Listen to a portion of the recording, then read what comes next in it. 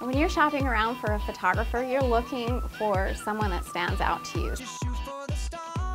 Somebody that is different, that is going to give you a photo that is not like every photo that you see on every other website. And there's a reason why you came to my website, and, and I hope that that's the reason, that you're looking for something creative. You're looking for something that stands out to you. And I'm the kind of person that's going to go that extra mile, that's looking for something different, that's going to do the creative, and I'm going to make you feel comfortable and it's going to be fun. And that's something that I really strive for as an artist and as a photographer is to get that shot that is not a shot that you're going to see anywhere else. It's going to be unique to you.